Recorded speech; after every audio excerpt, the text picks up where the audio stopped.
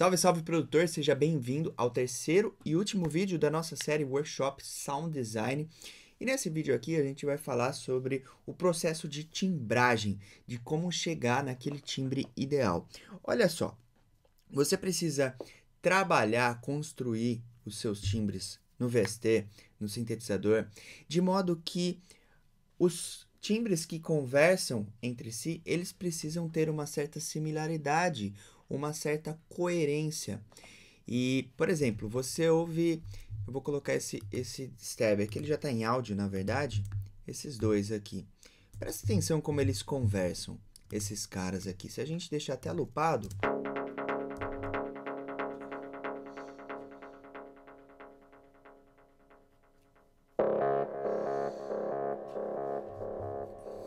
Parece que são irmãos, né?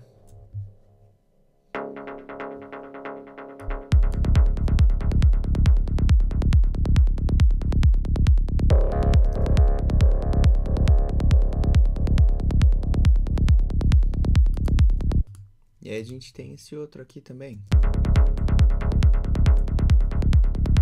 Conectando.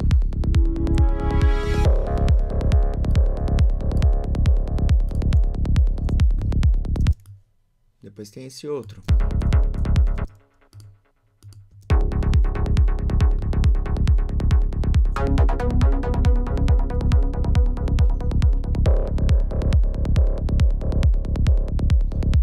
Como eles estão todos no mesmo, no mesmo ambiente, estão todos parecidos assim, são irmãos. Acontece que eles não saem assim do VST. A gente precisa timbrar o elemento. E timbrar o elemento envolve vários fatores que a gente vai falar aqui. Vou pegar uma outra parte da música aqui, que os elementos estão em MIDI ainda.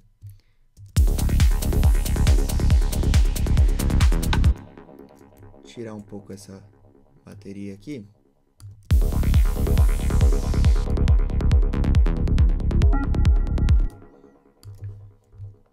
Então, o que acontece? Existem alguns aspectos que a gente vai utilizar para timbrar os elementos, para deixá-los mais parecidos uns com os, com os outros e também para deixar fazer com que esse elemento se encaixe no momento da nossa track. Então eu tenho aqui, por exemplo, Fechar.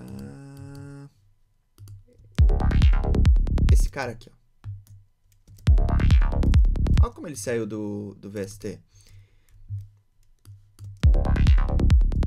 Uma onda. Uma onda sol. Uma automaçãozinha aqui, uma modulação no, no filtro. Só. E aí eu vou timbrar esse elemento. Como é que eu vou timbrar ele? Primeiro, cutoff, abertura do filtro. Primeiro é a onda, na verdade, né? Eu vou escolher a onda, tal, cheia de harmônicos. Depois, o filtro, que vai... Quando a gente manipula os harmônicos, a gente está manipulando o timbre. E manipular harmônicos também envolve distorção, às vezes um hyper efeitos aqui que a gente vai ter, reverb e tal, tudo mais.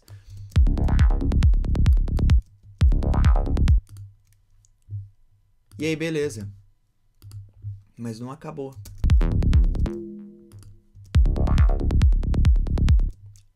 Eu vou colocar um EQ, retirando harmônicos. Tô trabalhando o timbre. Tô encaixando esse timbre aqui. Mais um, uma espécie de EQ aqui. Poderia nem ter também. E aí eu vou colocar saturação. Esquentar um pouco. É sutil, não dá para perceber muito. E aí um reverb. Agora já mudou bastante. E um delay. Mais um delay. Vai dar um groovezão. Nesse delay aqui, eu vou... Olha como a gente trabalha o timbre, até no delay. Eu vou cortar os lows aqui que eu quero que as repetições sejam filtradas. Para quê? Para encaixar com esse outro aqui que é mais grave. Então eu não quero que as repetições sejam graves.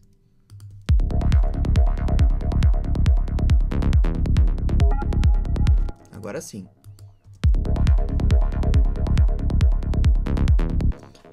E aí, quais são os principais fatores que a gente vai utilizar então para timbrar um elemento?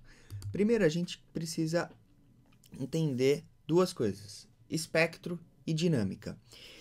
Dentro do conteúdo espectral, que é basicamente são as frequências que estão dentro dessa, dessa faixa aqui, de 20 a 20 kHz, existem várias formas de manipular essas frequências. A primeira delas é o cutoff, aí a gente vai ter as ondas, que vão determinar quantos, o conteúdo de harmônicos, a gente vai ter saturação, plugins que vão alterar a, o conteúdo de harmônicos, a gente tem EQ, distorção, reverb.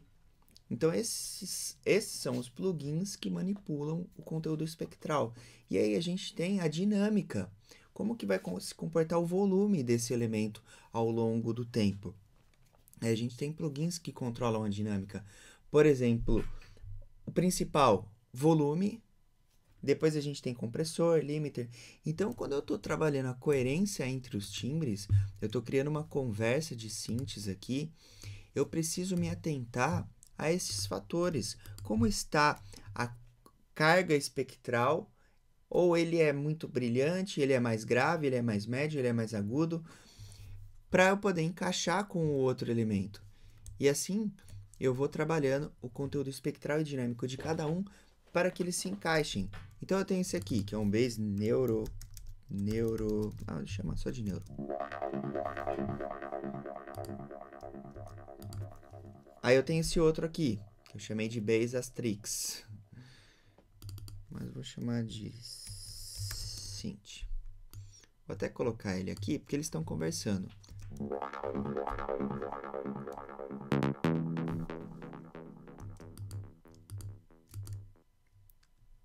Primeira coisa, eu vou ajustar o volume entre eles. Eles precisam estar num volume parecido.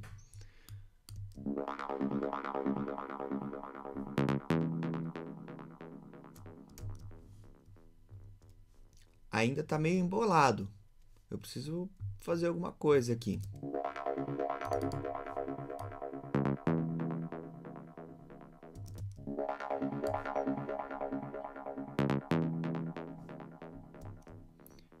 Esse aqui, esse segundo, tá mais brilhante um pouco.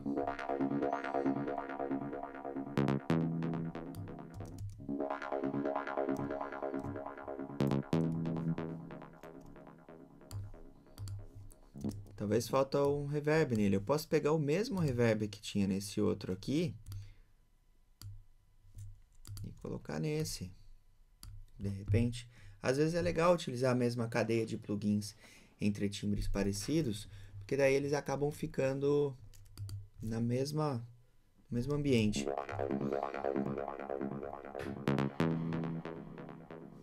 Ficou muito reverb.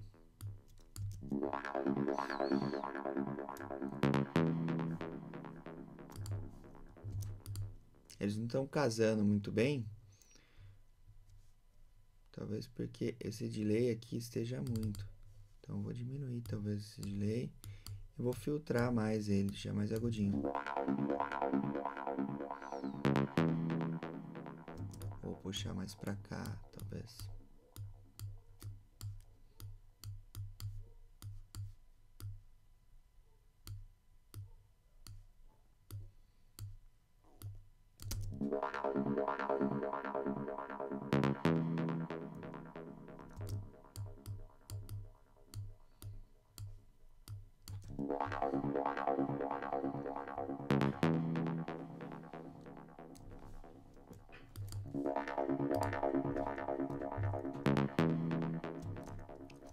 Talvez o cutoff dele esteja demais nesse segundo aqui. Ele não tá casando muito bem. Vou fechar um pouquinho o cutoff. Já tá melhor.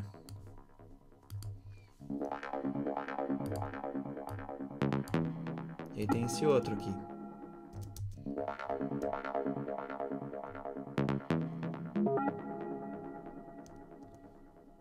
Esse aqui já tem um timbre bem diferente, mas eu vou ajustar o volume dele também.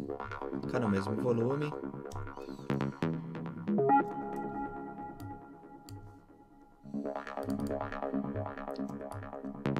Encaixar ele.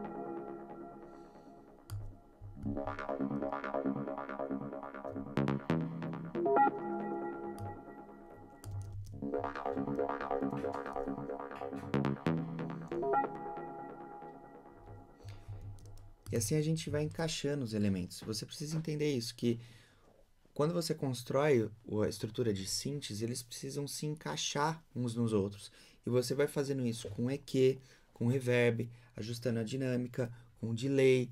Eles precisam ser similares em termos de, de timbre ou contraste. Por exemplo, esse terceiro aqui é um lead.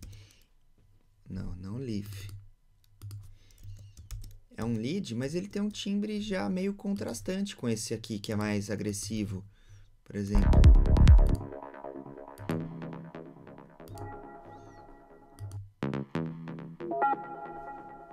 Ele já é mais limpinho, mais, mais agudo, então ele se encaixou bem. Às vezes é legal você colocar assim, um mais grave, se encaixando com um pouquinho mais uma oitava acima, depois outro mais grave, depois outro uma oitava acima, eles vão se encaixando. Mas é importante que o tail, quando acaba um, começa outro. E você vai trabalhando para que eles fiquem parecidos. Isso é um conceito muito importante. Você vai trabalhando para que eles, eles se encaixem, eles fiquem parecidos, eles fiquem no mesmo ambiente. É aí que está o segredo da maestria nos synths.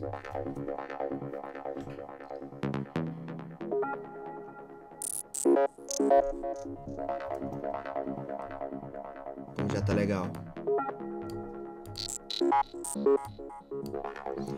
Então a primeira coisa é deixar o volume de todos, ajustar o volume. Deixar todo mundo no mesmo volume.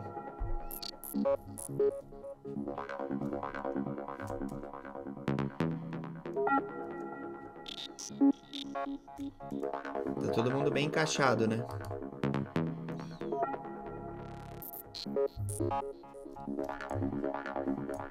E aí vai.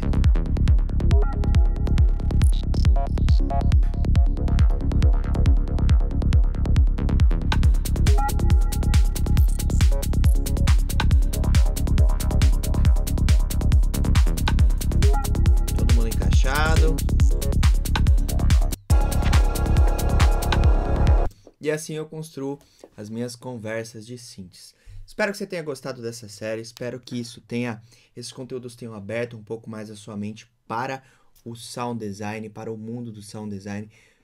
Síntese sonora não se resume somente ao que, timbre que você cria no VST. Vai além disso, você precisa shapear, moldar esse timbre com equalizador, reverb, compressor, delay, tudo isso que, saturação, todos os plugins que alteram o conteúdo espectral e dinâmico podem ser úteis para moldar um timbre, deixá-lo parecido com outro ou parecido ou fazendo um contraste de modo que eles se encaixem e que fique legal, que eles fiquem legais juntos. Beleza? Espero que você tenha curtido então.